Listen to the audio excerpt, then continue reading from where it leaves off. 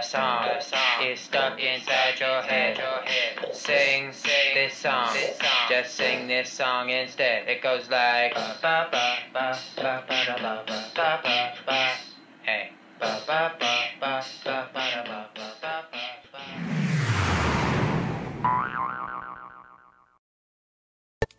Hey guys so as most of you probably didn't know, I am Chinese. Don't be like one of those people that's like, oh yeah, psh, I knew that, because you probably didn't. I mean, there's an even chance that I could have been Japanese, I could have been Korean, I could have been like any Asian, I could be from any Asian country. So I've been trying to embrace the Asian in me because this is who I am and this is who I'm always going to be. But there are some people out there making it kind of hard to want to be Asian. And if you're Asian, then you probably know the struggle.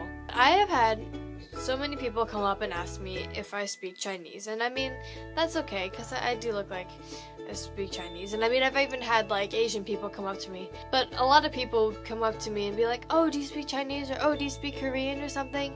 I'll be like, no, no, I don't. I moved here before I could talk, and so I don't really speak any of it. And you're like, are you sure? You know, like, are you really, you really don't speak any? Are you sure you don't know any? Like, yes, I am sure. I think I would know if I knew how to speak another language. I don't. I went out to eat with my family one time, and it was my sister and I, who are both from China, and my mom and dad, you know. And we had gone out to eat, and there was this man sitting at a table next to ours. He tapped my mom on the shoulder and was like, "Excuse me, do your do your girls speak Japanese?" And mom's like, "No, they're Chinese, and they moved here a long time ago and don't remember anything." He's like, "Are you sure?" And mom's like, "Yeah, they moved here, you know." And he's like, "Okay, because my wife speaks Japanese, and I thought it'd be cool for her to have somebody to talk to." Okay, I see how it is. I mean, I'm Asian. I must be Japanese. And also, I must be friends with your wife because I'm Asian. I mean, I kind of understand, like, the thing about, like, if I went to, like, France or something, it'd be kind of cool to find somebody who spoke English, but I mean, like, the assumptions that he was making and the way he, like, presented himself and asked were a little bit offensive. I've been also asked so many other things that have been slightly offensive. I've been asked if I know karate or taekwondo, and I don't. And also, karate is Japanese and taekwondo is Korean, so even if you were jumping on the stereotype train, I technically wouldn't know how to do it anyway, because I'm not Korean and I'm not Japanese. Imagine that. I've also been told that I would be great friends with somebody just because I'm Asian and they're Asian.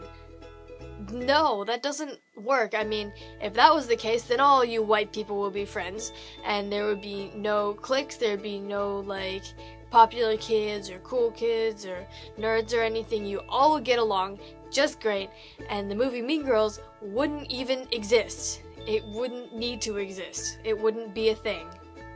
Then I also have gotten asked a question that makes me lose all faith in humanity. Alright, I've been asked, are you Chinese or are you Asian? No. No. No. No. That's like me asking you, oh, are you from Canada or are you from North America? Just, no. Come on, guys. Come on. That's like basic stuff. Even I can figure that one out. That's just not right. Anyway, guys, I hope you enjoyed this video. Um, I'm really sorry if you've been like on the asking side of things and I kind of offended you a little bit. Sorry about that, but I mean, come on, stereotypes. You can't, no. And if you guys can relate to this, feel free to leave stories in the comments. I mean, we can all have a boo stereotypes party in the comments. Yay! Anyway, I'll see you next week. Peace.